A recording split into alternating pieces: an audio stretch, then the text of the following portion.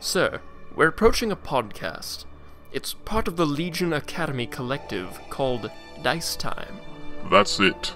Bob Swing and Ben Jetron are there. Uh, my lord, there are several Star Wars Legion podcasts. It, it could be any number. That is the one. Admiral, set your course for dice time.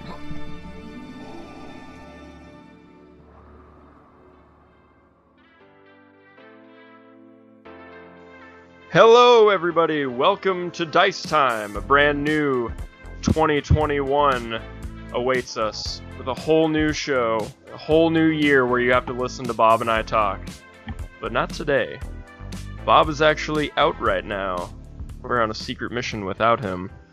Uh, and by that I mean Bob is actually very sick, and uh, his voice was not feeling very. He, he he was not feeling very up to it, and his voice was uh giving out. So I uh so we had to we had to bring on some hired help today. Although, what's what's what that, that that's what people want you to think, right? What's actually going on is I'm getting Bob a, a birthday present, and it got stolen by pirates. So I'm actually on my way to pick it up right now, and by pick it up I mean ambush those pirates who took them from me and get it back. But I couldn't do it alone, and it's a surprise for Bob, so I didn't want him to find out, so I didn't invite him. So I hired uh, our our good buddy Paul back on the show. So he uh, Paul Watson is here in the in this ambush hidey hole with me. How you doing, Paul? I'm doing all right. How are you? Good. You ready to Uh, get these pirates? Yeah. Although I think we've got a we've got a little bit of time if I check here before they're scheduled to, to come out of there. So I figured while while we're uh, while we're lying in wait, we could uh, talk a little bit of Legion. Hey, I'm always ready to talk about some Legion. Great. 'Cause we got some good stuff coming today. Today we're going to be talking about like top three per per category of, of unit type. We're going to look at the top three of what we like, what we like best, what we think is competitively like on top right now, but also like what's the what's what's the most fun. So we're gonna we're gonna break down and do a bunch of a bunch of top threes of the best of the best of every kind of unit. And then we're also we're also gonna have a fun little discussion of uh, if you were a part of Legion, where would you be? And then we are also we'll we'll briefly touch on the news that got dropped today, which is about the uh, the clone droid uh, specialist packs that just got they they just got the articles like hours before we started recording, and and and Bob would be sad if we didn't touch on news. Like literally the day we were recording, if we didn't touch on it, because it'll never get fresher than that. So, I guess that's uh that's that's we probably have enough time to hit all that before the pirates come out. Yeah, I think so. All right. So, Paul, what do you think? If there was a top three of of, of, of encompassing every faction in Legion right now, if we were gonna run through the top three of each unit, where would you want to start? Oh gosh. I mean, I think you probably just start at the top, right? You start with your commanders, the most Yeah. important part of your army. So so so Paul, if you were gonna if you were had to pick now, the top three best commanders in Legion as of right now, who would they be and why? Well, I. I First think- off, are, are you looking at the uh, are you looking like competitively or just most fun or like you or are you combining them? Um, I'm kind of combining them. I'm ki- I'm combining Okay. them with definitely how good they are based on like you know different stats, keywords, those kinds of things. Um, competitively, if they're pretty good, um, and also just units that I think are fun, thematic, um, enjoy playing. So all of that kind of comes together into the into my rating system. So some of Okay. them might not be the most competitive, but there's But other reasons. Yeah, Yeah. yeah. They're still I- good I- units for different reasons. I made two top three lists. Some of them or one of them is is based on like what I thought was competitively viable, and then the second one was what I think is the most fun. Uh, they definitely. I don't think they have anything that really overlaps between them. oh wait, no, some of them do. Some of them do, but uh, some some of them are just me personally, what I think. So I mean, like, it's not super objective. It's very sub. th- This is a very subjective subject. Abs- absolutely. I'll be interested to see like where we overlap. So uh because we made these lists independent of each other. So Yeah, I, I'm excited to hear what you have to have to say. Paul, take it away with uh, the commanders. So I think like number three, we're gonna do like back and forth. Okay, yeah. So, like- that, My number three commander, I think is Grievous. okay. I think he's got a lot of cool keywords and in scale. He kind of acts like that Jedi um, without all of their full abilities, but I love having eight health on a unit Oh yeah. on your commander right with those red saves. Um, his one pip is gross. You always have to watch out for it. You cannot let Grievous hit you with a one pip on like your entire army, No, or it's pretty much the game. better explosions, as I, as I like to call it. Yeah, he's he's a really he's a really solid commander. You don't have to worry about him dying if he gets left out in the open too much. Um, with that eight health, and he can he can go toe to toe with a lot of force users just fine. So Oh yeah. I think he comes in at my number three. Ironically, Grievous was also my number three on my Oh. most on my most fun list.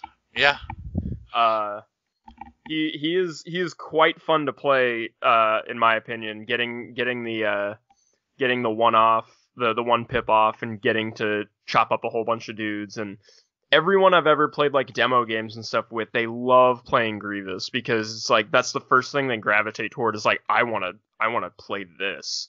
You see him spinning his lightsabers and everything in the movie and you're like how do I do that in the game? Like that sounds so cool. and yeah, I think they thematically did a great job nailing him. Oh yeah, definitely. Number three, competitively, this could be wrong. This is the one I didn't feel super great about. I don't, I don't, I'm not a super competitive player, so I mean, like, all my knowledge goes off of like what I've seen at Muncie and what I've heard from either discussions on the Legion page or like podcasts or something. So bear with me when I'm completely wrong when I when I go down my competitive list, okay? But number three, I actually put uh Captain Rex. Okay. So I don't know. I don't know how you feel about that, but I feel like Rex is he's arguably still like one of the most important pieces on the clone table because of his command cards and Yeah. all the sharing he can do. So just keep that brief. Uh, yeah, definitely. where where are you at on number two? Number two, I, you know, I had a really hard time with commanders because I think there's a lot of them that are really good. That's fair. But, Yeah. but right now, I feel like I put Iden as my number two. I Okay. feel like her command cards and that whole um, Imperial Special Forces list. There's just so many good keywords and so many um, additional things that Iden brings to that um, kind of list, and she's got some awesome gear Mm-hmm. and, and again some awesome keywords on her card for the point cost she is just a very solid commander Oh, absolutely. I agree. And th- for that reason, she made number two on my competitive list. yeah i think she she definitely fits in that that category with like the veers and the krennics except she's more of a combat focused yeah, except Um, she's more frontliner. Yeah. yeah mid-range hero so yeah i i, I think she's a really solid um, leader for your imperial forces that want to get in there and and shoot some stuff up I haven't played Empire in quite a while because I'm trying to transition to playing more clones because I'm finally starting to get all my clones painted up so I can start fielding them because I've always wanted to run my my purple clone army yeah and I really want to play Anakin Obi-Wan. And I and and thank thank thank you to shout out to Paul Watson in the chat for for uh for getting me Anakin. I I had a little bit of financial stumbling that I've been doing recently, so I wasn't going to get anything last time I was in Muncie and Paul uh ever so graciously uh bought me an Anakin cuz he needed he needed a couple more dollars on this transaction, I guess. i did But I'm but I'm definitely going to be painting that up. I just listened to Legion Academy talking about uh, Anakin and Obi Wan as a list concept, and I cannot wait to run what Joe posted. I'm super It's- excited to try it. yeah it's a very fun list Anyway, that aside, I put I also put Iden as my number two for Imperials. That's where I was going. I haven't played Empire in a long time, but when I get back to it, I'm looking to play Iden because she looks she kind she kind of reminds me of a rebel hero honestly, with like the way her keywords and stuff worked out. I, Yeah. I felt I felt a very rebel vibe from her, which is only thematically appropriate. Yeah, Uh, spoiler alert. Jeez, whoa, for those of you on. who haven't. more more spoilers coming up right now.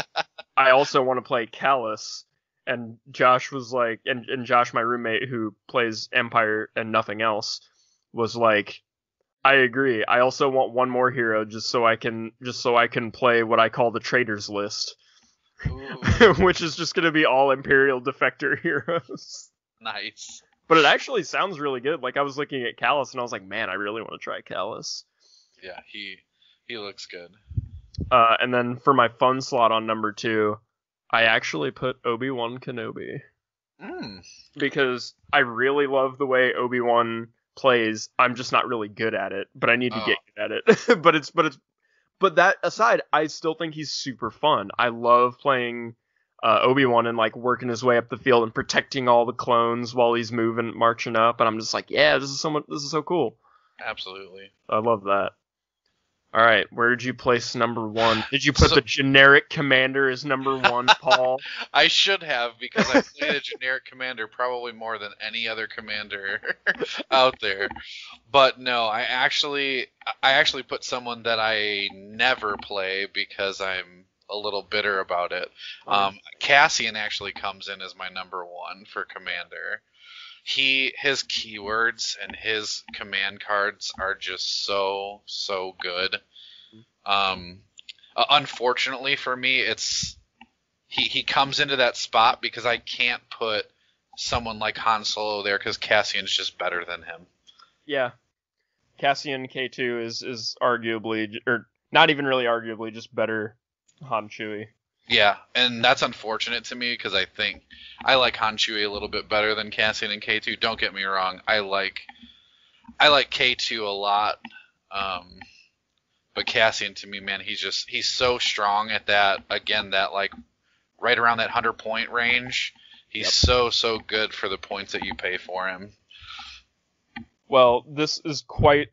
We're, I can tell we're going to overlap a lot because I put Cassian and K2 as my top and number one for competitive slot, and then on my fun side, I put Han and Chewie. I every single time I'm making a list for fun, uh, Han and Chewie usually end up in that list, and I'm just like, hell yeah, let's just do it. Just Yeah, gunsling around and get Chewie out there. Yeah.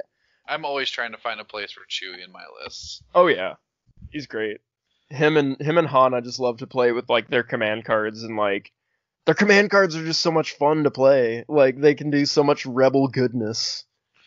Yeah, I um I have a, a friend locally that I play against a lot and we um really sat down one day and really had a big think tank for one of his lists that he's doing very, very well with. Um and it's Cassian K2 um And Chewie. Chewba- Chewie and three full squads of Wookiees, and it's a Yep. nightmare to try to play I I had the I had the displeasure of losing of losing hardcore to that list last time I was in Muncie.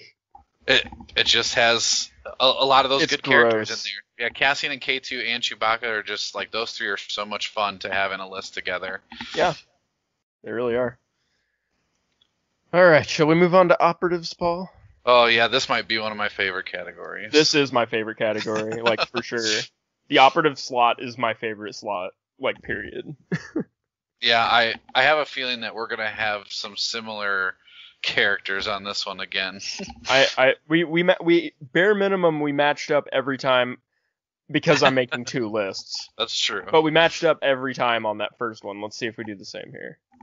So where so where are we on the number three? Yeah, coming in at my number three uh, is Sabine. I Ouch. I really enjoy Sabine. She that Mando armor, that speed three move, and gosh, explosions is such a fun card to play. Oh yeah. I'm I'm just so disappointed you only gave her three. Well, it's hard. It's hard to not give the other two the higher spots right now. Fair enough. I I'm like, oh, I'm honored that you put her in the top three, and you're like, she gets number three, and I'm like, how dare you? so for okay, so for my uh my competitive number three, I actually put Padme. Okay. I feel like she's a really strong operative for the for the clones right now because she can still do the token share, the standby share, but then she does a whole lot of token share. She can also do secret mission, and she's just a really, really solid battery for the Republic that I still see making it into a lot of lists, or at least people talking about wanting to keep her in the list. Yeah, and I honestly think that we're going to see more of her as people really find that spot for her. Yeah. She, I know I'm definitely gonna have her when I get to Republic Ladies Night, which I'm just one Ahsoka away from. now that I can make Aayla Secura my field commander and fill that slot, yeah. I'm just one Ahsoka away from Republic Ladies Night, and then it's happening. But uh, on the fun side, uh, I put my number three as my boy Cad Bane.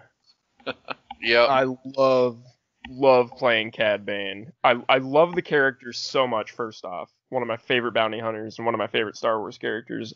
But he plays so he he is so like techy and stuff he can do. He can do all this sort of stuff because of his command cards and the way that you can equip him with all this gear to do all this crazy stuff. And his keywords just play into everything. He's got the Bane to I love the Bane tokens. Like you can play mind games with your opponent if you're really good at it. And you can do all this crazy stuff. He's like there's so much he can do and in the right hands he can be a really deadly scary force and that's what I, I just I just love. I feel like they did him thematic justice. Absolutely, I absolutely agree. Um, it, it's funny because he's actually a good segue into my number two, who is Oh. Cad Bane. Oh great.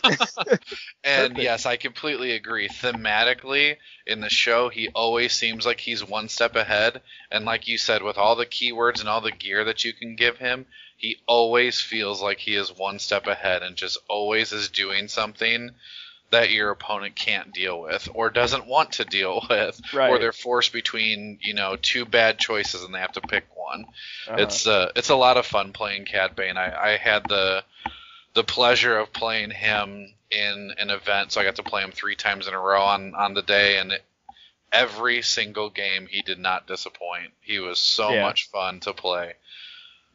I want I'm I talked about this list a little a couple episodes ago, but I really now that now that I now I can actually proxy it and play it now that the T series is out. I want to do the T series droid, three squads of commandos with uh full squads of commandos with vibro swords and the Dioxis mine, and then Cad Bane is the center point of, as the centerpiece of my list. Yeah, absolutely. That'll be a fun list. Yeah, I played it once already. I've proxied it once with instead of one commando squad, I have two of them built like that, and then instead of the T series in one squad, I had Grievous, and it was really fun. But I would like to bring a third squad and just replace Grievous with the T series and see how it see how it goes. So your two was Cad Bane. My number two competitively, I placed Darth Maul. How do you feel about that, Paul? I actually so that same list that I played Cad Bane, I also had Darth Maul in there. I will say he is really good too. The fact Yeah. that he has two one pips in his cards, so you can bring three one pips in a in a game, is really quite good. And his it's it, what really blows my mind about him is his action economy. Yeah, Is he e- he gets getting- so many actions, so he can just you really don't need to you, you really don't need to worry too much about making every single move count because you get extras compared to everyone Right. else. So you can Right. just you can do everything. and not to mention the double bladed lightsaber throwing eight dice. It's so good. Oh yeah. Ugh. Uh, and then number two for my operative slot for the fun side, I put R2D2 because I love him and C3PO running around playing Secret Mission. It is, I, I as soon as I saw the Secret Mission keyword, I was like, I'm going to. This is one of my favorite keywords in the game now. This is so much. This is just a little mini game inside of Legion. yeah. Just getting the droids to the other side of it. Like, don't don't shoot at me. We're just trying to get to the other side. uh, I love and I love it. All right, Paul. Where did who made number one on your operative list? Oh, mine is. I think I know. is the Go man, ahead. the myth, the legend, the none other than Luke Skywalker. Yep. he is so good, so good. Um, I'll tell you right now, I competitively put him as number one as well, and I'll just let you lead this discussion here. yeah, I I just think it's one of those things. Most of your big characters, like your big force users, have an opportunity to have a double attack in a turn, um, Uh-huh. or something like that, and really gives you that feeling like that hero is really doing a lot of work. And really, if you look at it, Luke has two one pips that let him do that, on top of a three pip that lets him essentially sacrifice his attack to make it so two other units that your opponent have cannot attack yeah. and it's so strong. It essentially, you know, it's like a, it's like getting, you know, three extra actions or attacks or lack thereof, I guess, uh, out of Luke, and it's just he's so strong. He's got a lot of tricks. A disengage on a unit is one of the grossest things for for a force user that can jump from one unit to another and just keep hacking up. You know, with Luke having seven dice too on his lightsaber, Uh huh. seven health, four courage. Like he just does whatever he wants, essentially all game long. He's just he's just the perfect unit. He's he's a lot of fun. he's he's a lot of fun to play. Honestly, he Yeah. just he really feels like. I mean, you want your saber user to do a lot of work in a game, Mhm. and he is one that I've I've played a, a good handful of times, and I've never been disappointed in how much work Luke has been able to do in Oh, the yeah. game. With Yoda riding on his back, he learned the most important lesson, which is how to carry the game on your back. and now too like i'm i'm even more like excited you know with uh well oof, i don't know that i should hit that spoiler that's a little newer huh? Uh i'll leave it alone oh. Okay, okay. so who is your number one Well, who do you who do you think, based on my outrage earlier, is my number I, one? I had I had a feeling at the beginning it was going to be Sabine because uh, she is one of your favorites for sure. Yeah, not even. She's bar none my favorite unit in the game. I, I I think my bar none my favorite character in the game is Sabine. She is everything that I love in a Star Wars character, uh, mechanically. Uh, I know people have gripes about her thematically as a character, but uh, I'll I'll save that discussion for another day. Uh, but she is she's you know she's a Mando, which means she gets that that badass red dice uh, impervious armor surge to defend save that best save in the game over there she's got uh she's got jump speed 3 some of my favorite stuff. She's got the dark saber which is like the one of the coolest weapons that you can put on. Uh it gi- which gives her dauntless and everything. She does the explosions the one pip. The explosions is so much fun. I've i've really come to in the course of open from the box opening of Sabine to where I have her now. I've had so much fun turning when do I do explosions and how do I do explosions into an art form, which I feel like is thematically what what Sabine would appreciate. I've had so much fun doing all that with her. Absolutely, she's really good, and and the fact that you can play her in multiple different ways. You know, you can play her as this kind of range two gunslinger, or you can play her as I'm going to get in there with the dark saber and cut some stuff up. And Or the ultimate back uh the back line defense. yeah, I suppose. But she's she's I think I think you're right. I think she's meant to be played aggressively. But I usually end up playing her like okay, it's like I have a I have a mindset. I go, does my opponent have a have a lightsaber user? Okay, here's what we're gonna do. We're gonna go. We're gonna we're gonna do, go in and we're gonna dive into explosions turn two, and then I'm going to and then my target is go for your lightsaber user and either win that fight or at least whittle them down so by the time they get to the rest of my army, my the rest of my army can gun them down. Yeah. Yeah, she's she's fun. She can definitely fit that that linebacker kind of unit too. That just is gonna sit and wait for that that saber user to to really put some hurt on them. Yeah, I've never used explosives defensively, but might be a good idea. Uh, I find that most often you get an opportunity for explosions that's just way too good to pass up. Oh yeah, for sure. It to for me it rarely ever lets me down. Yeah, I've had good and bad, but I still do it. Anyway, should we move on to special forces? Sure. Do you want to go to wait? Do you want to go to core troopers or do we? Oh sure, we'll do core. I think I wrote Okay. special forces first, but I'll do core. Where, where, where, who makes your your number three, Paul? My number three is the good old phase ones Yeah. for the clones. They're just they're the, they're a staple. I mean they they're so good.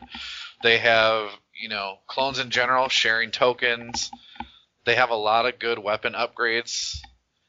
They're essentially the the mix between the rebel trooper and the stormtrooper the you know the best of both worlds the good Mhm. armor save and the good weapons and you throw that all together and here you have phase one clones and I- i just don't for me when i play a republic list i don't leave home without phase ones there's at, at least a couple on every list Oh sure. Uh, I'm not really totally sure about my number threes on this. For the fun side, I put stormtroopers because I don't I don't know why. Just like they're I I just like seeing swaths of stormtroopers on my board when I can when I can do it. Especially the fact that they have all of the uh, the upgrades now that you can equip them with the different troopers and stuff that you can the, with the uh, upgrade the core upgrade expansion was just like a really nice touch for adding and fleshing out stormtroopers a bit. yeah absolutely i do like a unit too where you when you're losing models you're losing the worst dice in the Yeah, that's the true. squad. Then there's that. uh, and then so for number three competitively, and feel free to shut me down and tell me I'm wrong. Are shore troopers still a thing? Ouch. Okay. Yeah. No, shore troopers are definitely still a thing. well, then I'm putting them at three. How about that? All right. I'll allow it. I might swap it with two. We'll see. It's definitely not one, but we'll put them at. It's it's three, and you can tell me if I need to swap them with two. Okay. All right, take us away. Two. My number two is B1s, B1 battle droids. All right. They're they're just so darn cheap. And it's so easy to get full activation control on your list with with B1s. with Mhm. those basic battle droids. It just I I played like I said I a little earlier I played a, a list that had Cad Bane and Maul. Well, that list also had an AAT in it.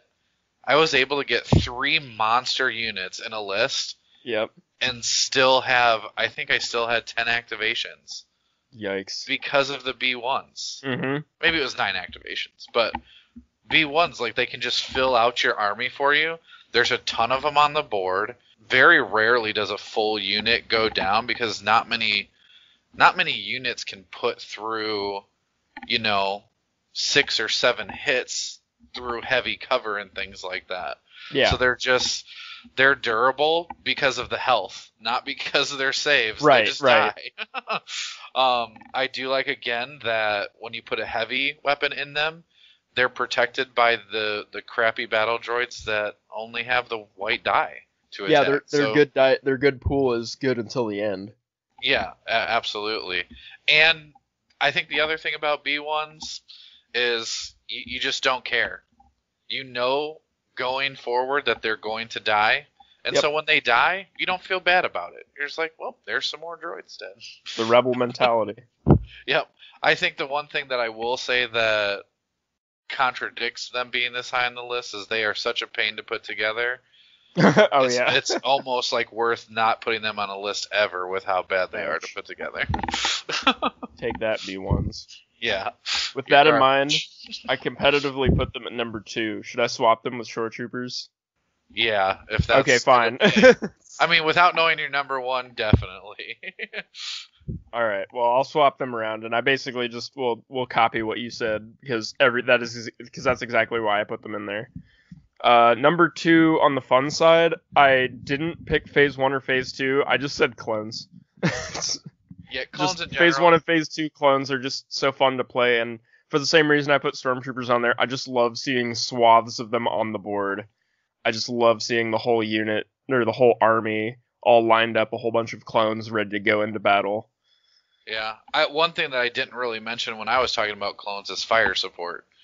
Oh yeah, It's not something I use all the time, but when you do, finding those good fire support plays can really change a game. And being a, a you know a unique thing that clones can do, um, it's it's a lot of fun. So who made your number one? My number one is actually Shore Troopers. Oh, okay, all right. I think Shore Troopers uh, are just really good for what you pay for them. Again, they upgrade their weapons from the white dice to the black dice. I mean, they're essentially like phase ones, except every time you give them an order, they get a free aim token. It's it's really quite strong. And then in the list like that I was talking about a little earlier, that Iden and this Imperial Special Forces, and then it Yeah. runs Shore Troopers and Mortars. Yep, that yep. list pumps out so much um, critical damage at long range. It it's really a tough list um, to play against. And Shore Troopers, that that heavy weapon is so good on them. Uh huh. Um, yeah, they they just have a lot going for them. So I actually, so I feel like we did our top three competitive in reverse because I as my number one. I put Phase Two clones. All right, all right. uh, just because I've, I've, uh, they, I've, I've fielded them, but I've, I know that there are people that have fielded way more of them. Uh, they're just like the most solid quality core unit I think in the game, with what they can do, their ability to, their ability to work together, their ability to stay alive if you if you're playing them right they can get the surges every round and then you have your commanders and your operatives who are supporting them if you're getting all of them they they can absolutely be like the hammer of your list they can they can put in all the work themselves Yeah. so And that put- courage too. When you Yeah, play a list that has courage two across the board, it's really Yeah. nice. it is i was gonna say it's just really they they i don't think they really let you down until they get like cut in half by operative luke Yeah, that's what they don't. Clones don't like saber users. That's for sure. Uh, Nope. And then number one for my fun side, I actually put Fleet Troopers because yeah, you do enjoy those fleet troopers. if I can run an entire list of nothing but Fleet Troopers, I have a good time because they're Yes. I put I put them there specifically because of my uh my Tantive four team list where it, for skirmish where it's just nothing but Leia, R two, three PO, and then four scattergun fleet troopers. And they're they're just so much that list is just so much fun. I if you've never played it, I highly recommend you if you can if you have the fleet troopers to run it, give it a shot. Or just proxy them or something. Like it's it's a super fun list. You're gonna love it. I I just want to jump in here and say, Yeah, yeah. you know, you said if you've ever played it. I would love to hear if anyone but you has ever played that list. That's that's fair. You know, it's fair. I don't think I, I, I doubt anyone has. But if you have, reach out to us. Let us know how you what you thought. Definitely, because All I want to know who else is crazy enough to run that list. Oh come on! I, if you if if anyone else asked me the question, Paul, it would have been like, I think Paul Watson's crazy enough to run that list. I, I, I would. I like Fleet Troopers. They're just they're just not as good as some of the other things that are out there. I early on in, in Legion, I used to run. Um, e- most of the time, I was running two Fleet Troopers in my list. Uh huh. Um, and really, all I did with them is they usually could delete a unit on their own with a shot, and then they would be the things that would get focused down. So they would be the distraction for the rest of my army. Yeah. Uh, my girlfriend Trista painted up a squad of them in like the like a like a camo that like a really really off color scheme that was like camo and like pink and it was like not pink camo but like actual woodland camo and then like pink accents here and there and instead of white helmets they have camouflage like woodland camo helmets too i call them my felucia fleet troopers Nice. and they and she and she runs one squad of them in her skirmish list where she has Cassian, K2, some RTs, and then a squad of fleet troopers. And I just put them in there because she painted them up. but it also just serves the list really well because it's another really threatening force that when you you start bringing them up the board, your opponent's like, do I shoot at the RTs? Do I shoot at Cassian and K2? Do I shoot at the fleet troopers? Whatever I let go is really going to punish me. Right. Yeah, you definitely can't ignore fleet troopers. Yeah. Because if you do, well, the Tantive 4 team will show you what happens. Yeah. That All right. shotgun's really good. Now we'll move on to special forces. Yeah, this is the this is the section that I feel like people are gonna be like, you don't know what you're talking about. That's fair. Even though I'm I'm going to start right off by saying that I feel pretty solid about my three my my two lists. I feel I feel pretty safe. I don't feel like I did them wrong. I, I don't feel like I did my special forces wrong, but I think I might have different opinions. So Oh, I'm sure. to start us off in that number three slot for special forces is uh, the Imperial Special Forces. Okay. I think again, like Hot the keyword, takes. All they are. All, all they're all right here. the the keywords on them. Um, and again, like I'm saying that because of the list that they're in. Like you run them Sure. with Iden, you, you're running that list that is a bunch of shore troopers, Imperial Special Forces, and you're just throwing a lot of crits. You're generating a lot of aim tokens. Um, it's a really again solid list, and those Imperial Special Forces really um, have some cool keywords with you know infiltrate. They can kind of come out anywhere on you. Um, Is the name three three three or like three three two or something of that list? I've heard names. I've heard names about it before. oh, I I've I I've also I've- just heard Tech Strike uh, uh, as the list name, but oh yeah, I I've just I guess I've just heard it as the Imperial Special Forces list, but the only one. yeah, it's just that one. so I actually have the same slot or the same unit in both slots on my number three list here. Ooh, So number three competitively, and then also number three most fun. I actually put the Droid Commandos. okay, yeah, They are a super fun unit. I've loved playing them suicide bomber style, just running in with Dioxis mines and being like, "We don't care about poison. We'll take the initial blast, but you'll get hurt more." And then vibro sorting whoever's left. Uh, it's been it's a super fun tactic to play, but they feel like really thematically dead on with like how they are in like the show. They're really scary. They move around a whole. They do a whole lot of movement shenanigans that scare that scare the opponent. Like, oh no, they're climbing up on walls now. What's this? they Yeah. can scale. Like it's just like they. Uh, I also put them as a. The strike team is also really good for like the sniper is really solid as well. Yeah. Uh, number two. my number two, and this is where I I'm not sure where people will stand on it, but I'm standing by my decision is Wookiee Warriors. Ooh, Yeah, hot Oh. take here. Super hot take. I messed up. I didn't put Wookiees in my list. I been smart. Oh well. I think after the new changes, Wookiee Warriors are such a solid unit, I absolutely agree. And especially with all the Force users that we're seeing on the table. Mhm. Um, and yes, is a Wookiee Warrior squad gonna beat a Force user? Probably not. But that Force user is gonna be stuck fighting those Wookiees for multiple turns. Yep. and that's the big thing that I think that they bring. There's that piece of it. They can be kind of that linebacker against a, a force user. They have Pierce now, not only on their melee attack, but then also still their bowcaster. So they have Pierce in both of their dice pools. Again, it costs an aim in the melee, but when Um, are you not aim swinging with them? it, it, it's easy enough to get. You know, you can put an offensive push on them for when you need that that extra aim, or you could do hunter if you're looking at you know going against other units with like multiple health or things like that. Yep. Um, they, they throw a lot of dice. They have a ton of health. Yes, their saves are bad, but it's 12 health. And and like I talked about earlier, you know, when you bring them in mass, when you have three full Wookiee squads, you're just not going to be able to get through all of them. No. And and again, now that they have scale, it's really hard to because they can hop from cover to cover, Yep. and then they're in your face. Um, I think Wookiee Warriors have gotten a lot better.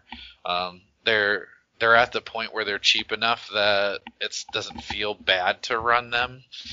Um, even as a, like a one of in a list, like hey, I'm gonna you know spend 110 points on a on a Wookiee squad and and it'll do some good work for you. So I totally agree, and I regret not working them into my lists now. Uh, of my of my top threes here. well, what do you have for your number twos? Well, I'm interested. For number two, I actually put Imperial Special Forces Okay. for competitively, uh, and then for fun wise, and this is totally a Ben, this is totally a Ben pick. I actually put Death Troopers. I, I actually think Death Troopers are good.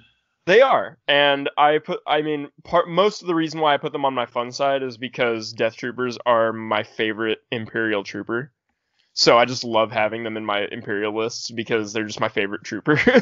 but uh, they're just super fun because they have they're like ever since their launch, they've been really scary with their like suppressive range four guns that just completely mow down whoever they're shooting at.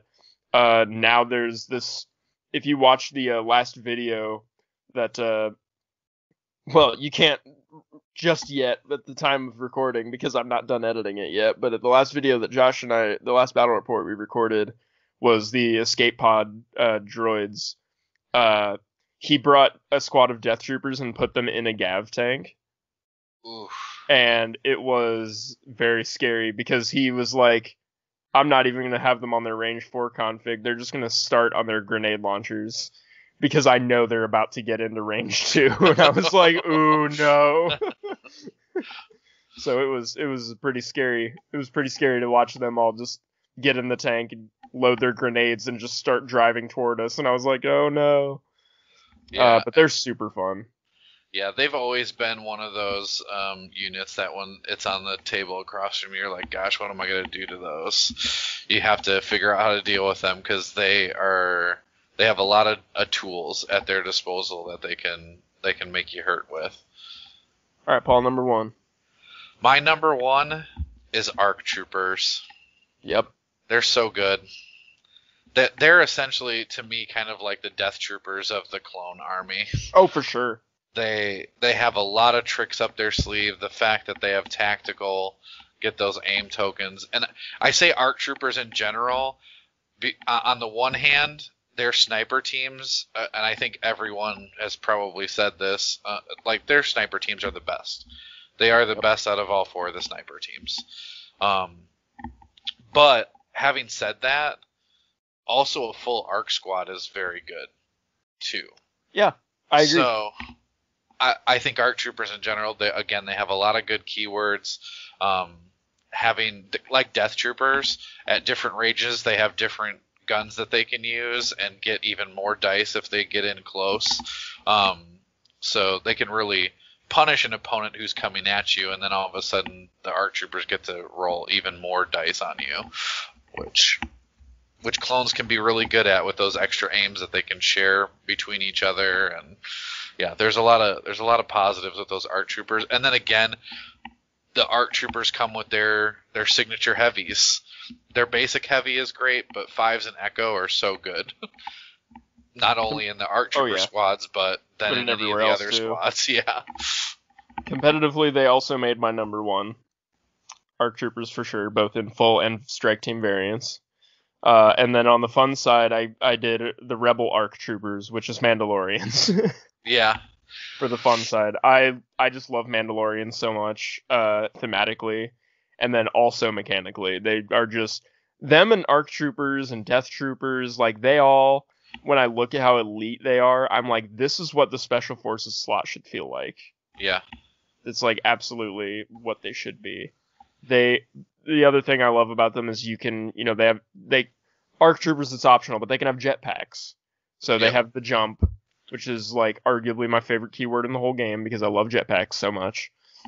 Uh, and they you know they have that solid armor and they have all those deadly weapons that Mandos bring the pistols the Beskad the the range 4 rocket like it's just it's so great.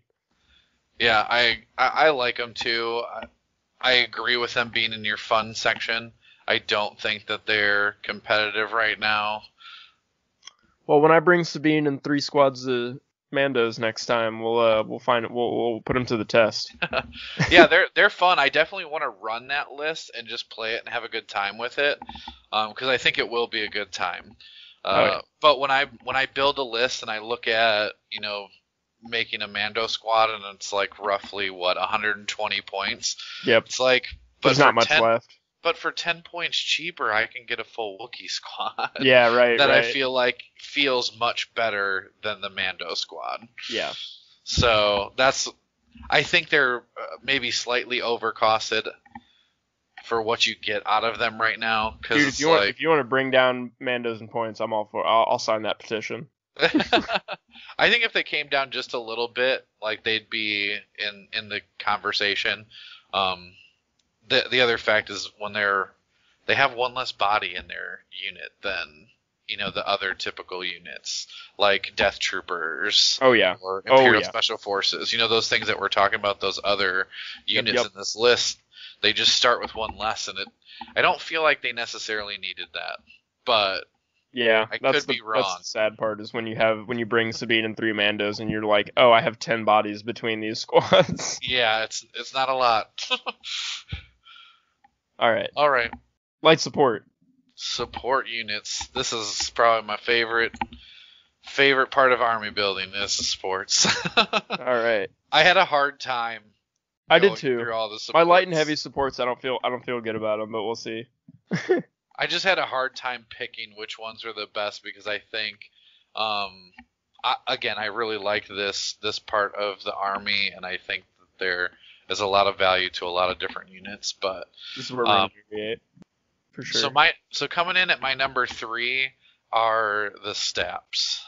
okay, for droids and and the reason why I think that they're really good is I think uh, like I really toyed with putting like speeder bikes on this this part right here uh huh. um as well. I just think the Staps win that by just a little bit because of again the droids activation control that they give. Um, you can run three Staps and you can give one of them an uplink, and now all of a sudden all of your Staps will always get orders Yep. For the whole game. And so Mhm. they can run on the other side of the field from your entire army by themselves without anything to worry about. And you can activate them when you want. I think that's a really good quality about the Staps. Um, that you only have to put like that one HQ uplink on one of the three squads if you're putting all three in there And then you're done. and then you're done. and and getting the dodge token every time you move is makes them even more durable than some of the other ones like speeder bikes. Yep. So I definitely think that they are a pretty quality unit there. And their dice pool is not bad either. Six black with critical two is pretty decent. So I'm willing to swap it around, but actually at number three on the competitive side, I put your boy, the ATRT, The Rebel ATRT. the Rebel AT. Well, I just said the ATRT. I, did, Yeah. I didn't. I didn't specify which. I don't have a lot of experience with the Republic one, but They're both uh, good. I, they I both- do think the Rebel one is better than the the Republic one. they both serve a similar purpose. Yeah. They're just a mobile armor plat- weapon platform. Yeah. Uh, and then number three on the fun side, I actually put Droidekas. Okay. Just because I love wheeling them around like turn one and then setting them up somewhere turn two and having them just lay down suppressive fire with all and I love the shields. Like they're just they're and but between all the droids they weren't terrible to put together as far as models go. I know that was your complaint about the B1s Yeah, they weren't they were they weren't they that were much- terrible. To me I- they they were a good change up from putting the B1s together. absolutely Uh, they still had a lot of little parts, but yeah, it didn't feel as terrible if I'm remembering correctly. Uh, yeah, and I did I definitely toyed with them as my one of my other choices for number three. number Well, two my my number two uh, is going to the BARC Speeder. yeah I think it is. I mean, I've said this multiple times. I, I probably sound like a broken record, but I think the BARC Speeder is a good unit. And now that again the points have dropped in it, it really um, is always a consideration in all of my clone lists. I always think about, well, do I want a Phase One Z6 Trooper unit, or do I want to swap for the same exact points and have a BARC Speeder with the the twin laser cannon on it? Yeah. I was gonna uh, say when that thing came out, Paul, you went from Paul Watson, the Rebel ATRT guy, to Paul Watson, the uh, the BARC Speeder guy. Yeah, I played them a lot. Um, just the fact that you get a compulsory move, um, so you get to move, take an action, whatever that is, aim most of the time, shoot, or if you need to. I've had games where I needed to chase down an objective all the way across the table and just triple moved with them in a turn to Mhm. get them across the table. So next turn they could take out that box carrier and you know and threaten my opponent's box that they thought that were was safe. Yep. Um, so I, I think there's a lot of value to them. The red saves on a support unit is really quite solid. Mhm. Um, if you can find a way to give them surge tokens, like by having like aggressive tactics in your list or something like that, um, that that tankiness goes up just that much more just by putting one surge token on them, and it really makes your opponent question whether they even want to try to kill that thing. Um, and one of the things I really enjoy about support units in general is most of them, like the BARC Speeder, those those single support units, they really are effective until they're dead. Yep. And and they stay they, they say stay at that uh, They're good till the last drop. yeah, and they and they stay that way even if some of you know some of the damaging pieces is can can really be a detriment to some of them. But for the most part, you're still getting some value out of them, and probably more value out of them than a trooper unit at the same amount of wounds left. Exactly. Yep, I I totally agree. I I I I can't contribute too much to that because I've only played BARC Speeders a few times and you've played them well more than me. So, uh you're going to be the ultimate authority on that one, but from what I've played, I definitely agree. Uh, so what was your number two? Well, number 2, I put the ATRT on the fun side. uh, because I really love uh, Paul Watson was the one that opened my eyes to to to how good the ATRT is, and they've pretty much been in all my competitive lists and pretty much just all of my lists, like one to two of them ever since. And then the and then on the competitive side, I think I want to swap this with my number one. But original, I'm I'm gonna leave it how it is right now. But right now, I have I have tauntauns on there.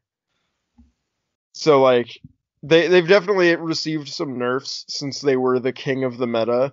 But tauntauns are still like really scary on the table. They can still move quite quite fast and get to get to you faster than you're ready for. They get the dodge tokens. They ram. They mess up your core. If they can harass all your trooper units, they're just they're scary if you leave them unattended. Yeah, definitely. I um, I mean, I guess to go into my number one, and but I will add to that, tauntauns are not on my list. That's kind of That's fair. they they are I guess an asterisk in there because they are like you said they're very very good. Um, I tend to not like units that people I guess say are you know like needed in a list. Oh sure. so no, you and I are the same that way. Yeah, when Tauntauns first came out and everyone was running like if you were running Rebels, you were running running triple Tauntauns. Like that was And that was like it. what you were doing in the competitive scene, and I disliked that a lot. Um, but I will say Tauntauns, I did play Tauntauns for like the first time recently. I had played against them a bunch when they were, you know, in the competitive scene, Yep. but I had never played with them because I bought my Tauntauns and then everybody was playing them, so mine sat on the shelf. So that's Um, exactly what happened to mine. Except I still haven't played them yet because I only bought one, I bought one box and I was gonna buy more and then they exploded like they did and then I went, well, fine, I'll just keep them in my box and show everybody that you don't need them. and then I- Trista, my my girlfriend, was looking for stuff to paint and she was like, "Can I paint those?" And I was like, "Absolutely, just do it. Like, feel free, to do whatever you want with those." Uh, and she actually has got one of them done recently and uh. I, I posted something about them in the in the face in the, the messenger group we're in, but I'll when when they're both done, I'll have to post them. But she painted them up the like they're black fur and like red eyes or yellow eyes, and they've got like blood all over them, and they're like they're the scariest tauntauns I've ever seen. If you thought tauntauns were scary coming at you from across the board, you've never seen the demon tauntauns. that just makes them scarier. I have seen those tauntauns and they are scary looking for sure. Yeah, no, I I think they are a very good unit and they were fun to play. I will say. I only had one unit of them, but they were fun. uh, but my my number one support goes to the ATRT, the Rebel ATRT. Yeah, Um, and and if I had to say a reason why, I would there would it would be a three word answer: Surge to crit. Yep. It's so good. Um, and the the point cost of the ATRT is so um effective for the rebels. At 75 points with the rotary cannon is just a really solid support piece that can bring a lot of supporting firepower to an area of the board. I mean, I've played them multiple different ways. I've played them all in a group, just putting a huge group of fire down, you know, the middle of the board. Um, I've played them where I've had one on each end of the board and one in the middle, and they just each kind of support whoever is with them. Um, and then pinch into the middle, you know, those kinds of things. yeah, Uh, I've played, you know, two go with the main force, and then you have kind of a flanking force with another one. I've played it where the RTs do all the flanking themselves, and then the rest of your force is, you know, somewhere else on the map. Um, they just they're they're very useful. You can run them different ways. My favorite way of running them is with a rotary cannon, because I think no matter what situation you're in, it's it's beneficial to have that rotary cannon. Um, it, it's never going to be a bad choice.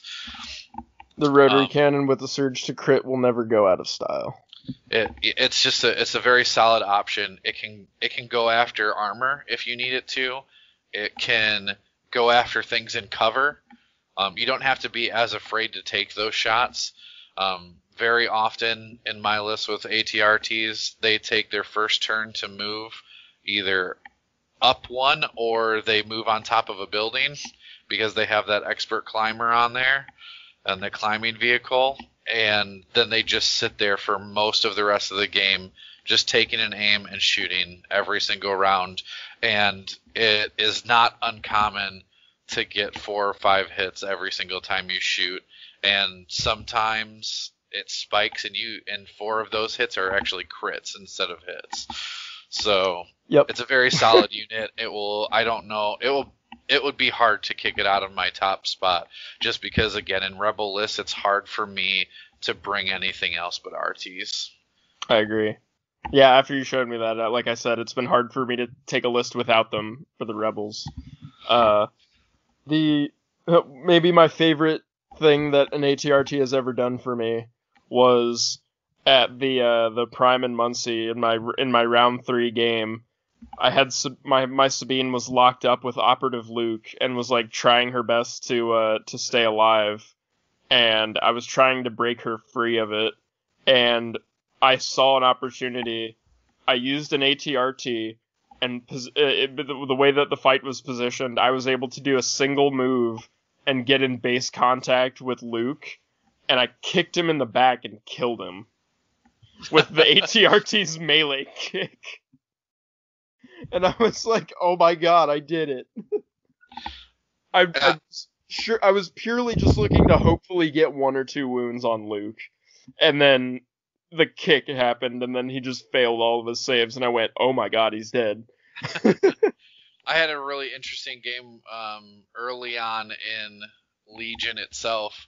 Um, it was at the first like build and play event at Adepticon, and it was I was essentially playing like the first place game, and my RT, um, we were playing Recover the Supplies, and I had my Luke Skywalker jump over some terrain and grab a box on my opponent's side, and he had Darth Vader pretty close to Luke at that point. Uh-huh. Um, and I parked my ATRT right in between two um, like little Hoth turrets that they had as terrain pieces in there. Oh yeah. So where Vader could not get through nope. to Luke without spending. It took him two turns of attacking the ATRT to kill it, Yep. um, which was plenty for Luke to get away, to Uh-huh. jump back over all the terrain and, and hide. And if you looked at the board of that game, you would have never thought that I would have won because at the end of it, it was Luke. Uh, one rebel trooper unit leader and another rebel trooper unit leader and one extra guy. So I had four models on the board, but I had three of the five boxes, and he had Yep. Vader and ATST and both of his stormtrooper units still on the board. So, but that sacrifice of that ATRT was what gave the game my way because Luke was able to then run out. So ATRTs can do some really fun things with body blocking and getting in the way of opponents so they can't get through, giving your units cover, mobile cover behind them. Yeah, it's really they're really a quite solid piece to have. Yeah, so the number one slot on my competitive slide, I might. I don't know what I was thinking. I, I actually put Staps there. Just because of what they could do for the droids is just so invaluable. I don't think that that's a bad choice in in that. I think, like I said, Staps I think are a very solid unit. Um, a- and with the droids, that that activation control is so good in CIS. It's one of the main reasons I think to play that list is you get to use the things that you want to use when you want to use them, and those staps can be very devastating. I have been on the receiving end of three units of staps just flanking across the back of my lines and they cut through half of the army at least before I can deal with them. Um, they can just be they can be brutal for sure. Well, the uh, uh, number one on my fun list, I, I had to put my favorite, the FD dish turret. I do it is like super that. fun to it is super fun to squeeze one of those in a list and just plink away at stuff at with with well not even plink away that's that feels like a little sniper with two dice it's like if you spike with that thing it hurts Oh you yeah. can really wipe stuff out if it's like if if you catch a vehicle or if you catch a squad out in the open with their pants down like if you catch the like a vehicle in a bad arc or something like you can really mess it up Oh, absolutely. I um I played a couple in a list recently. Um I hadn't played very many of them, but that range 5 is so good. uh-huh. Um you, you think a stationary, you know, dish turret is going to be pretty terrible for you, but range 5 gets gets most of the board. yep It, it's it's quite good, and to be able to shoot into your uh, like if let's say you're playing battle lines, you can set up your FD turrets and you can shoot into your opponent's deployment zone from the beginning of the game, uh-huh which is That's very so nasty. normally you can't do that. There's not very many things with range five that are going to put that much hurt. But like you said, I mean, it's got five dice. It's nothing to to ignore. It's not like a little sniper that's like, okay, it's going to kill a guy or two. Yeah. Like, no, this could wipe your squad if you're not careful. um, it's definitely and definitely with some of the points drops that it's received over um, time with the generators. Um, three points for a generator is nothing. Like I think they're an auto Yeah. include on them. it is just an auto include. And for the FD turret, I really like putting the one that gives it an extra impact. Like three impact uh, on six black dice is a really good anti-vehicle weapon Oh yeah. um, for sure. And you know, very frequently with the FD turret, you're either taking an aim and a shot with those five black dice, or you're recovering and shooting with six black dice. Um, if you have the generator, um, you can also put a link targeting array on them to give them another aim in a turn. And yeah, I mean, with those black dice and the surge to hit, on average, you're. I mean, if you can take an aim, you're gonna get four or five hits. So shall we roll into heavy support now? Finish this Yeah. off strong. Yeah, finishes us strong with some heavy supports. All right, Paul. Where'd you put number three here? Well, number three is probably just sneaked into this spot recently, again with the, the rules changes. Yeah. And for me, that is the the Gav Occupier tank for the Ah. Yeah, yeah. Um, the new the new changes to how um, open transport works um, has really increased, I think, the value of the Occupier tank. Um, there's a lot of talk, I think, right now about the the e-webs hanging out in the back of the Occupier tank.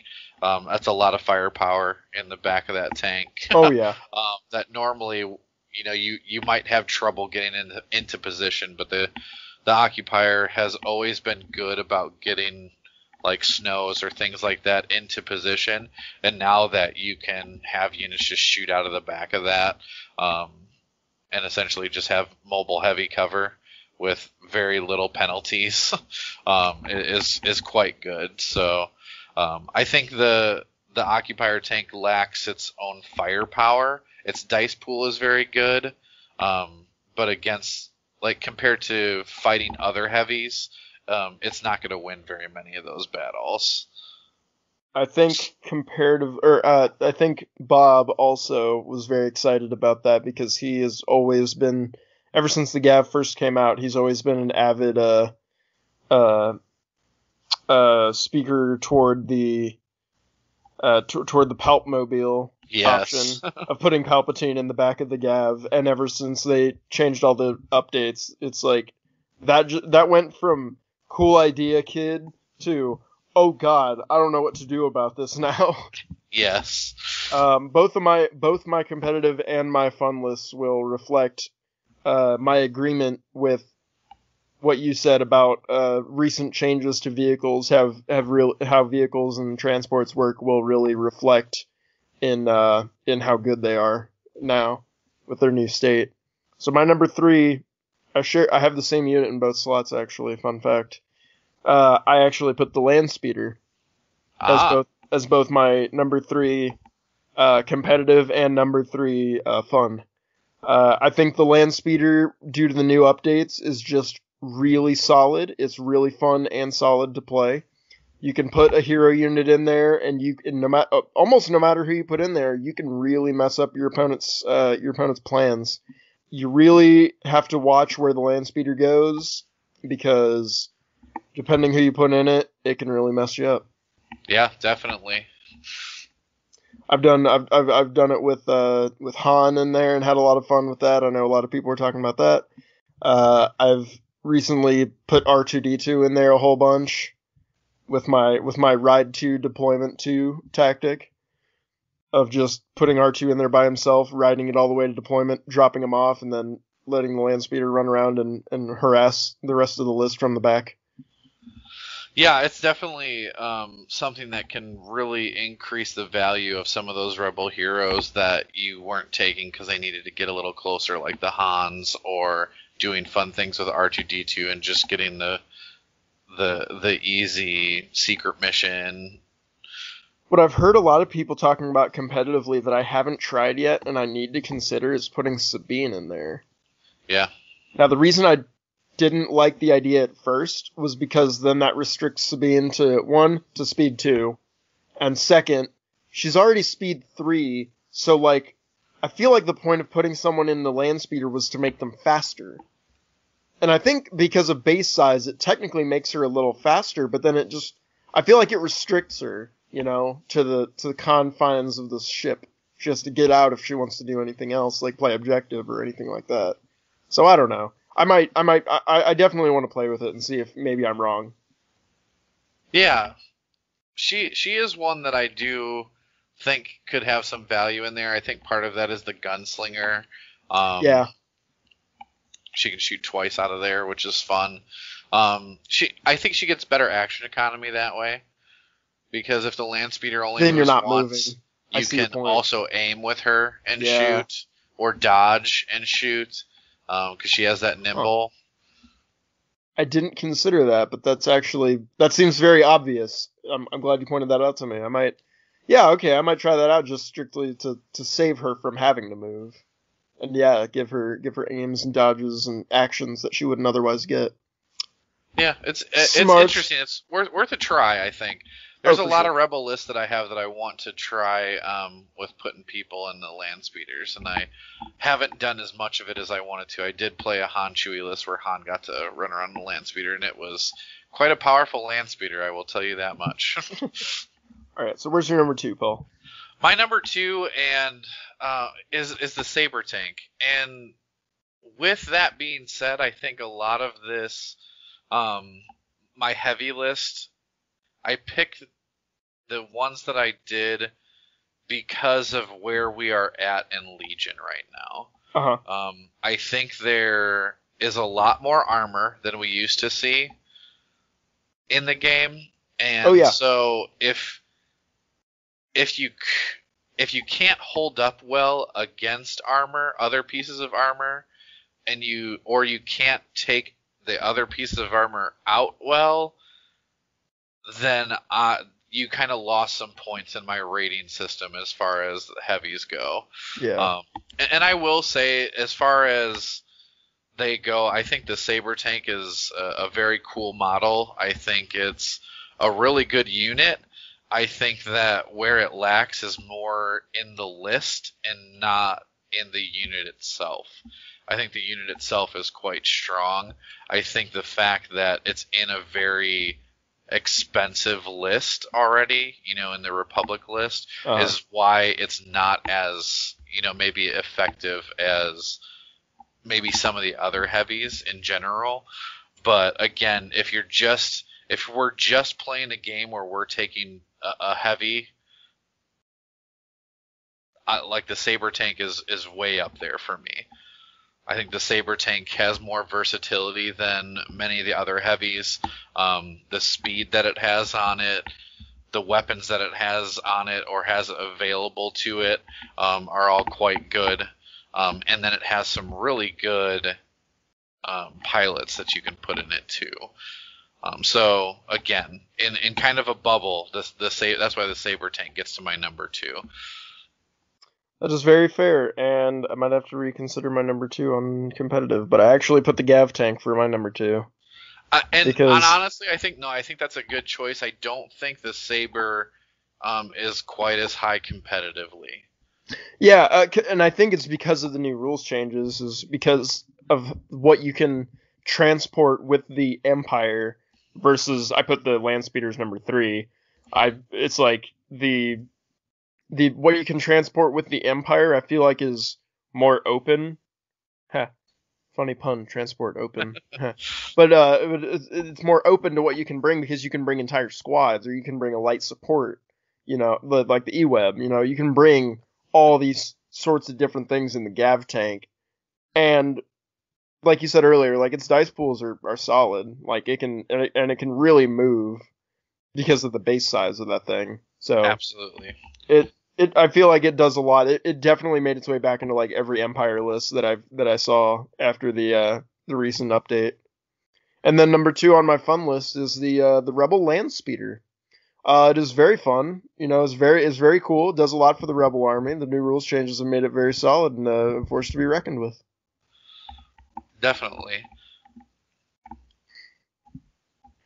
So So who ma- who made it to your number one there?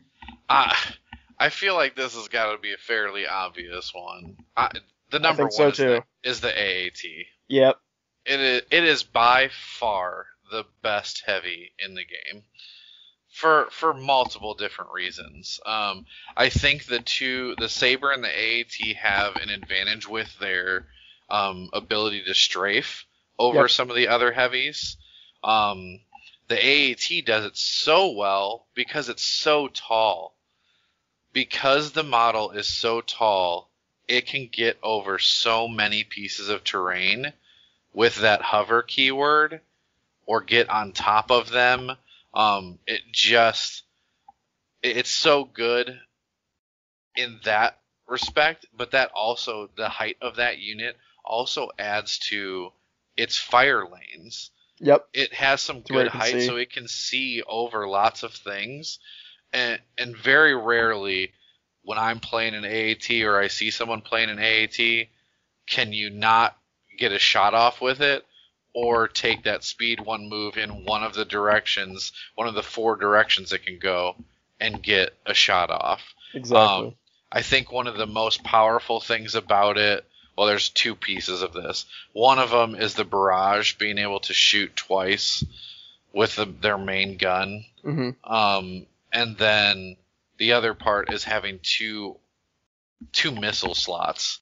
It's so Oh. good because you can if you take one AAT and you can put the the high energy shells on one and like armor piercing on the other one, you have an answer for armor and you have an answer for Jedi Yep. because the those high velocity shells have the um that keyword on them and the same with the main gun.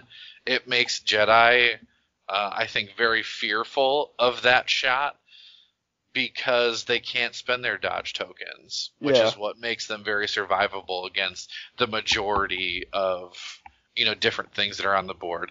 Again, that that AAT is such a such a good model, uh, and it's a great model too. Oh yeah, even- like I, like not I even just as a physical model, yeah. yeah, it's it's a great model. Um, it's a lot of fun to play on the table, and honestly, with the new drops, spoiler alert, I guess for later in the show, um, it's it got so much better with the new repair droids. It's um, watch out, CIS is coming. oh yeah, they're coming in hot. And It's the same reason that they also made my my number one competitively. Yeah, I don't feel like it's a competition. This is the part of if we were a video, this is the part where I would start including a compilation of like all the streamed games during the last uh turn uh, like during Gen Con that like Sean rolled with double AATs and it's just like I would just have a compilation of Oh man, he just destroyed that unit in two shots. Oh, it's like oh, in one activation he just wiped that unit, or just like, like people just like freaking out at what Sean could, Sean did with like double AAT. Like Yeah, that pretty much it pretty much sums up what I feel about them. yeah, they're very very good. And again, we didn't even talk about their pilots and the Oh, fact yeah, that field commander is a thing. And yeah. Lok Durd is such a monster. Yeah, Lok Durd is amazing. So yeah, the the AAT has a ton going for it. So that's why it easily gets my number one slot for sure. Yeah, easily. Although it doesn't get my number one fun slot. Well, uh, this is one that I'm going to chime in on number one fun slot. Oh, okay. If I had to pick a, a, a heavy that fits in the number one fun slot, it Yeah. definitely has to be the T47. That's fair. That's a that's a fair choice. especially now with it being able to surge to crit. It's a lot of fun, and uh, a one point wedge is really fun in a T47 as well. Oh yeah. being able Yeah. to get a free pivot. Oh, Uh-huh. and again, the change to repulsor vehicles, the fact that you can use your compulsory move at the end of your turn or at the beginning makes um, tho- those compulsory moves a lot easier to to get some good shots off with. So That is a very good point, and yeah, I, I do think that the T47s are very fun, but they didn't make my top three, sadly, because the number one slot for me on the fun slot or on the fun list is the Rebel Land Speeder.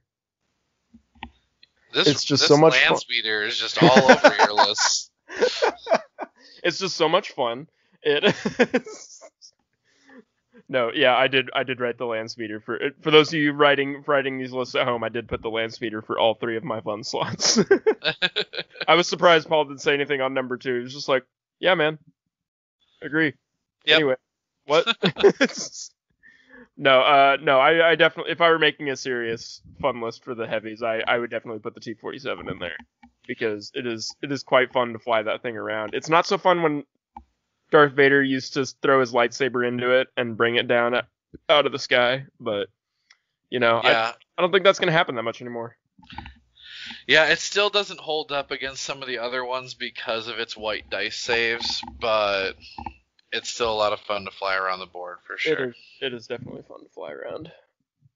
Well, I think that does it for our uh, top three discussion there, Paul. Yeah, it definitely does. That was that was pretty good. I, we matched up more than I thought we would, but I that, Yeah. I think that just means that we we great minds think alike. something like that. yeah, yeah, you know, great, great in our perspective, and everyone else can think whatever they want. So, I say we move on to a, a nice little fun topic that those of you at home can play along with. Uh, you can, you can, if you if you want to have a fun random Legion discussion with your with your mates that aren't uh, that isn't all about competitive, but you just want to have you just you just looking for another reason to talk about Legion. Let me let me pose a little fun question for you. If you could be you yourself, if you could be any unit in Star Wars Legion, what would you like to be?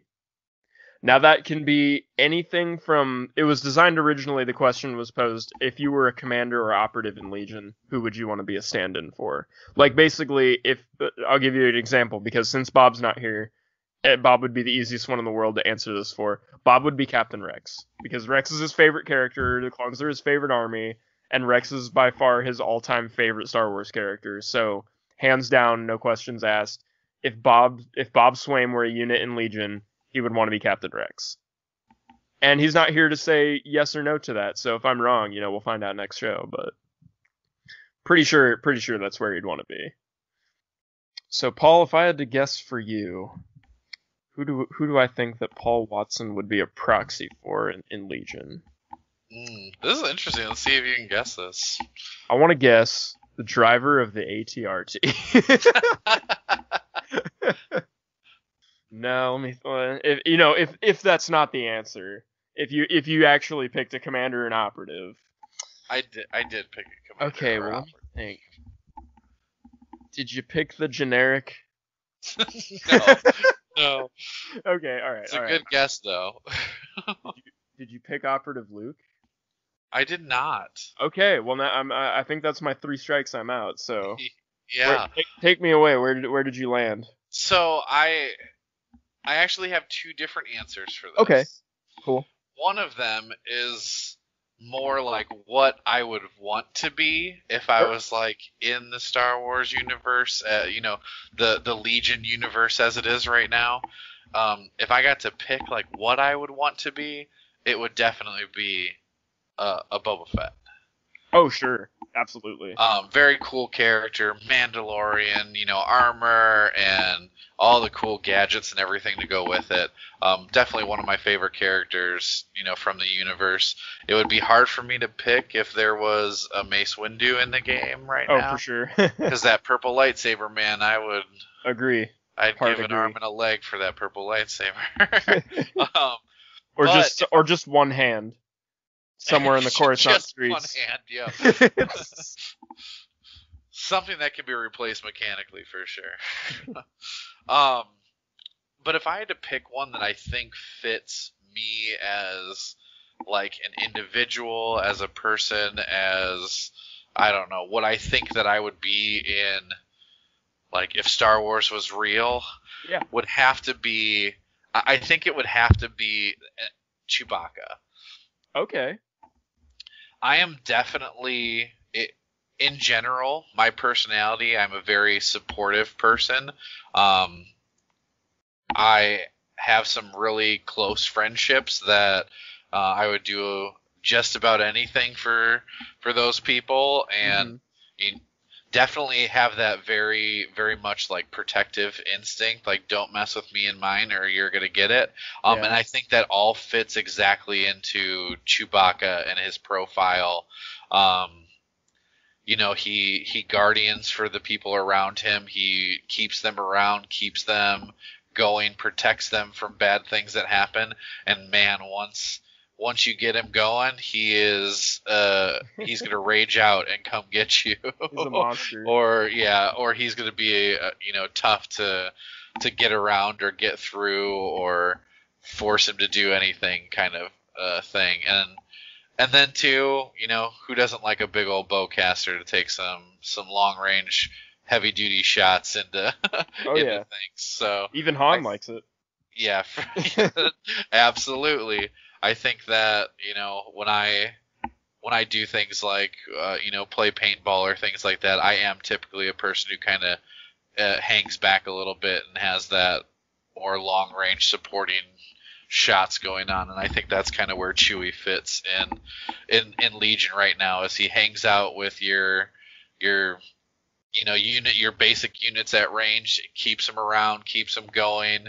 Um, keeps him alive longer while putting in some fire support of his own at that long range. So I think that's th- those would be my picks if I had to pick them. That's I, I like those answers, and you made me feel bad because I didn't pick like a good like if it were really me, like like a like a me who I am as a person kind of pick. Because Yeah. now, but but I quickly came up with one because I was very similar because I would probably do something very similar to what you had for Chewie, which is and this isn't my this isn't my like overall what I'd want to be pick, but my if I had to choose one as a like who who I'd want to be like as a person, I would definitely gravitate for most of the same reasons you said, but actually to Obi Wan. O- Obi Wan was actually in there, and I really toyed whether I would pick Obi Wan or Chewie, but I think that um, Obi Wan seems to stay cool, calm, and collected, and I definitely have a, a little bit of rage monster in me that that lives down deep. And That's a if good you choice then. if you if you open it up, it's uh it's crazy. So It's there. You can't stop it. Well then yeah, that's a good choice. Yeah, I definitely picked I would definitely pick Obi-Wan in that because yeah, for a lot of the same reasons, you know, I like I'm very protective of the people in my life and the people who are close to me.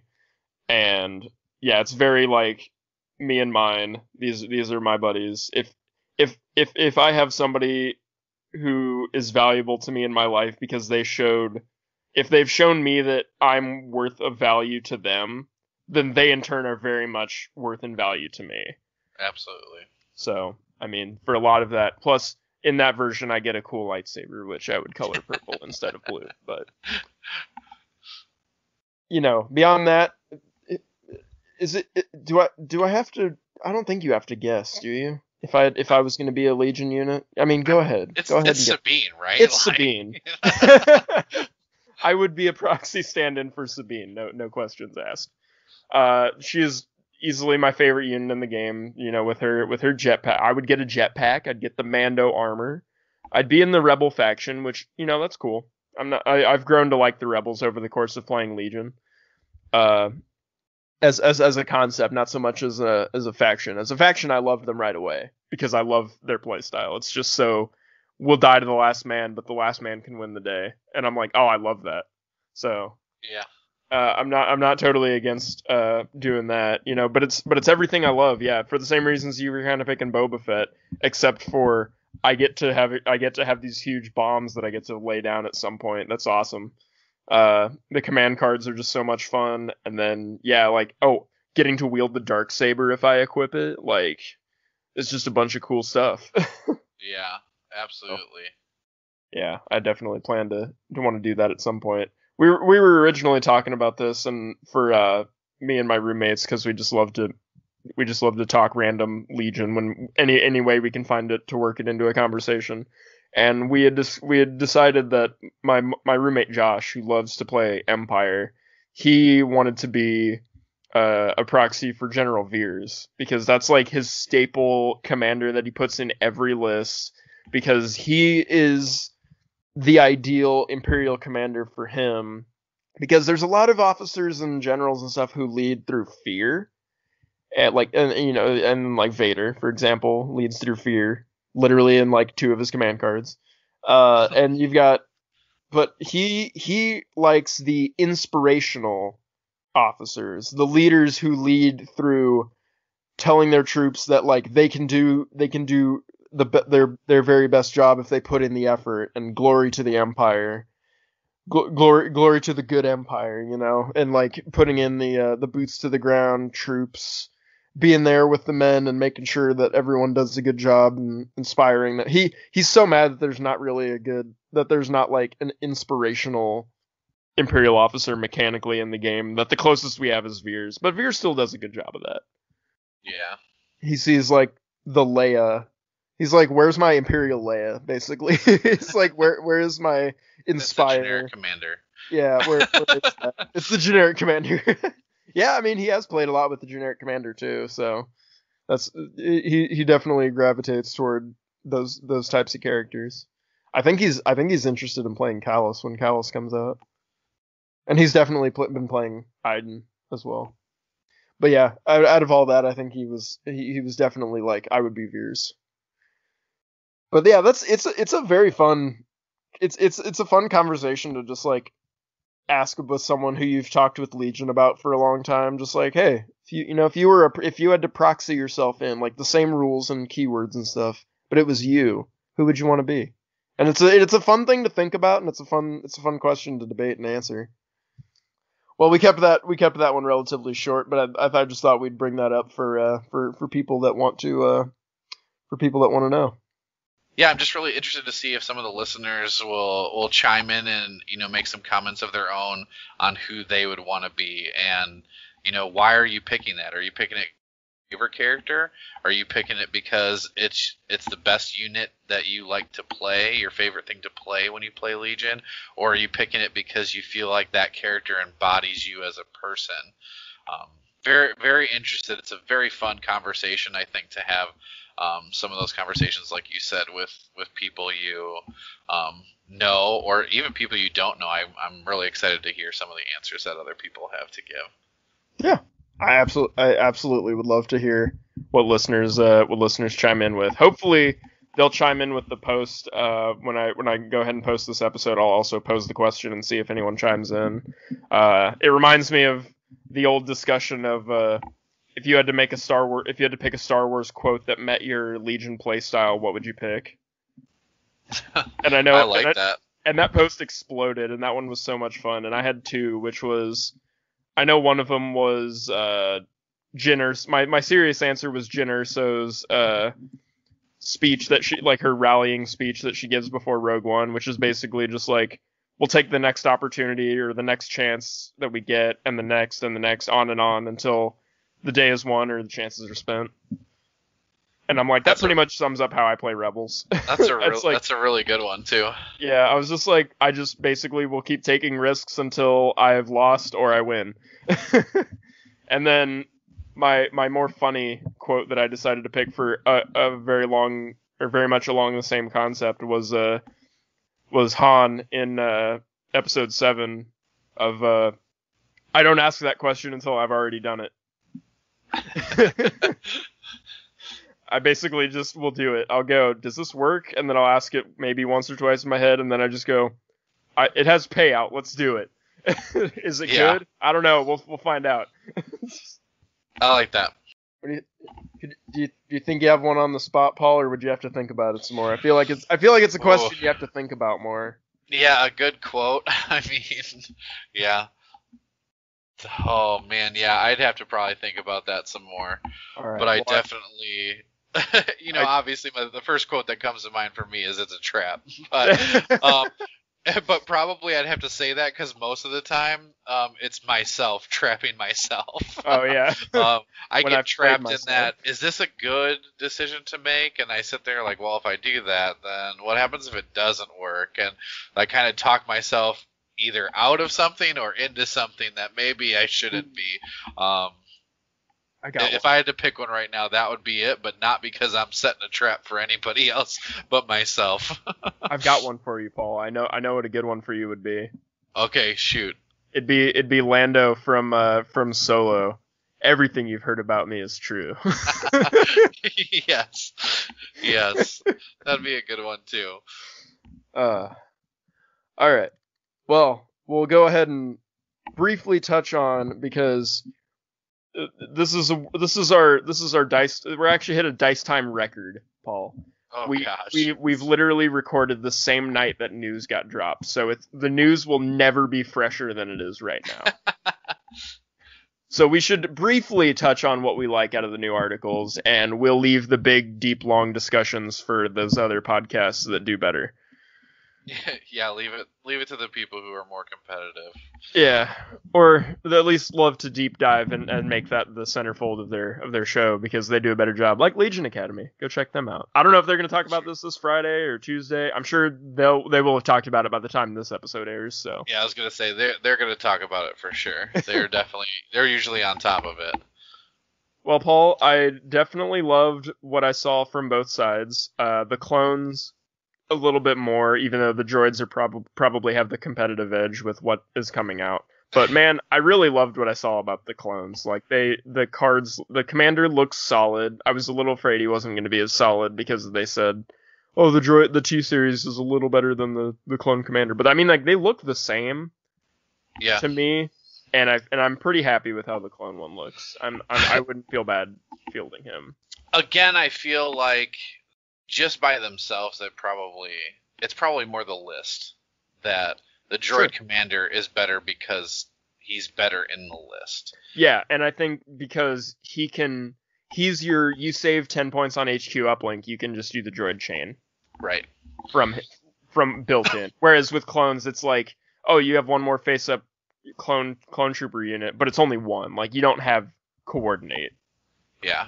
So I think Yeah, that was I- probably what they're referring to. Yeah, I, I do like both of the command cards um, for both sides. Like all three of them, I think they're good. Um, I feel like they fit um, thematically with what's going on. Um, I love that you know both of these new factions got that long range shot that the Imperials and Rebels had with Leia and Veers. Yeah. Um, I'm glad that they put their own spin on them. Um, I love that the clone one has the beam weapon, um, very you know thematic with you know what you see in the movies and stuff. Uh, I love that. Um, yeah, just a lot of a lot of good good artwork. I think in general over the the command card's really good. Um, The the droid, they're not even just their droids. The all all of them. Yeah, the art man is just is impeccable on all of them. They Yeah, all I really like- yeah, the repair droids, both of the repair droids, I really liked um, the artwork on those.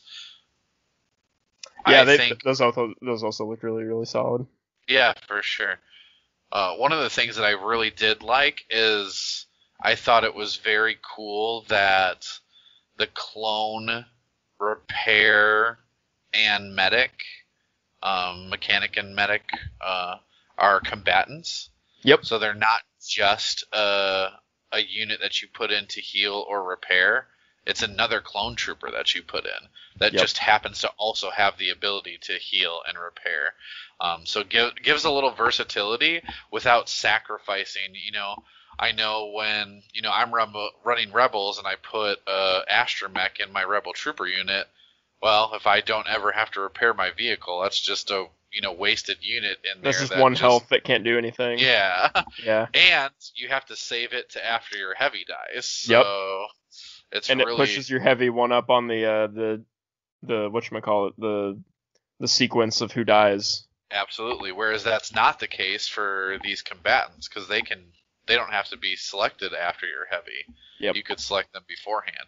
And with only one one capacity, you're probably going to use that pretty quickly, and then you can just kill them. And then there's yeah, then they're just another body. So right. So yeah, no, I Yeah. really I, I really think that's cool and very thematic. You know, for that faction, that faction, all of their you know everything's clones, Yep. and they all just had different jobs. Whether you were a sniper or a medic or you know anything else, you were also a clone.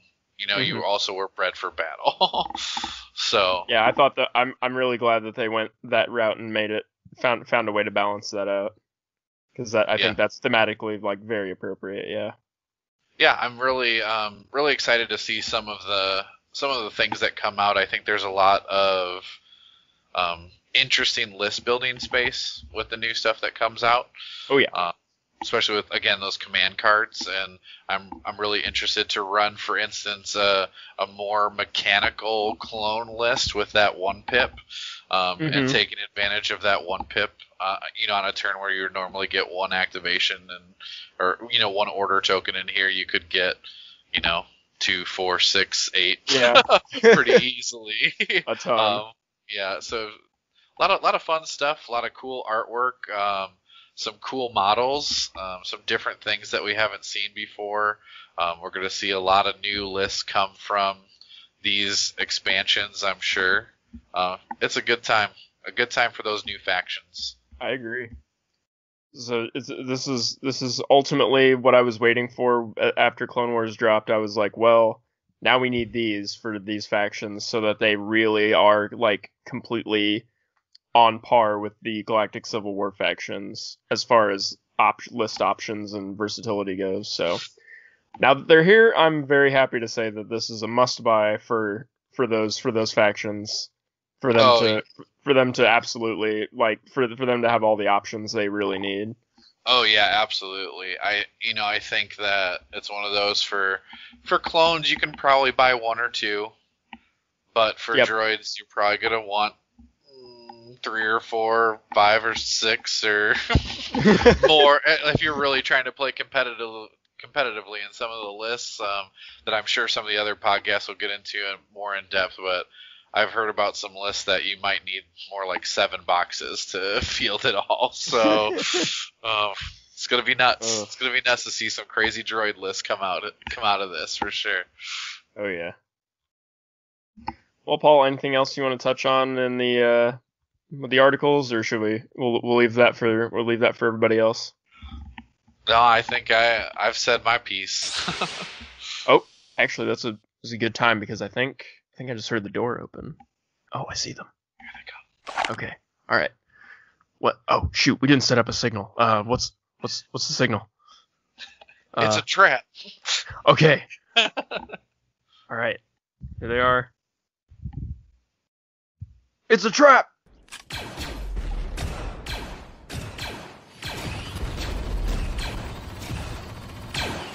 Ooh, uh, Paul, see if you can get that one. He has the box. He's getting away. I'm on it. Nice shot. Good one. Whew. All right. Well, that actually went a lot smoother than uh, than I than I'd expected. Thanks for uh, thanks for coming along here, Paul. Let me see if we can uh, grab this box here. All right. Well, here we go. I got uh, I got Bob's gift all safe and sound. I better check inside, see see if he uh see if it's still here. Hey, what's so valuable that these pirates came and snuck it away from you? Well, it's actually a very important weapon. Take a look at this. This might just look like a DC-17 blaster pistol, but it's actually a DC-17 blaster pistol that was owned by one Captain Rex at one point. Wow, that thing is a relic.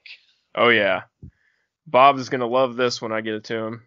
It, it was his birthday a few days ago, so uh, very uh, very important that I get my co-host a good gift there. Speaking of birthdays, I think it's Joe's today, isn't it? Did you get something for him too while you were at it? All right, well that'll do us for today on Dice. no, yeah, it, it- no. In all seriousness, I know it's it is Joe's birthday today on uh, the day of recording. So uh, happy birthday, Joe, to you as well. Uh, hope you hope you enjoyed the articles for your birthday. the great timing on that. That that was the gift. That's what I got him. I got him the articles. Got That's- it. There we go. That's yeah. what I did. Yep, yep, yep.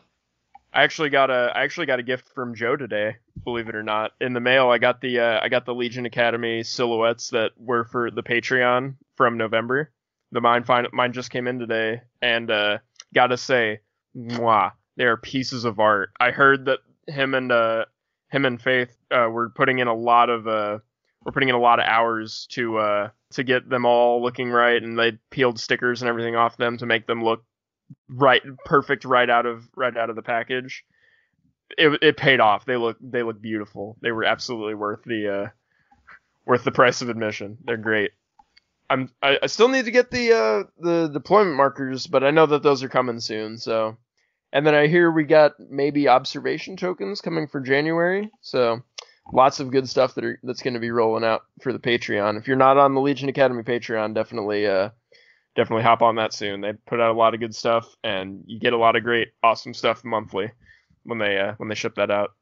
All right, Paul. I think I think that's uh, gonna go ahead and wrap it us for wrap it up for us, and we'll get this back to the ship. I'll uh, I'll get you the rest of your payment, and uh, I'll I'll drop you off wherever you're going. All right. Thanks for inviting me. I always love taking out some pirates. Oh yeah, then thanks for coming along. You know the show the show is always uh Dice Time's always happy to have you, Paul. You're you're always a great you're always a great host and a great guest. All right. And now I and now I have a good threat for Bob that if he ever disappoints me again, I can just throw him off and replace him with you. and I'm sure Bob will just say the same thing back to me and then we'll just and then we'll just be back to bickering for forever and, and that'll be and that and that's what Dice Time is, isn't it? Yep. So for both for both me and uh, for both me and Bob, I'm Ben Jetron. This is my this is my good friend Paul Watson. I hope everyone had a dice time today, and we'll see you next time.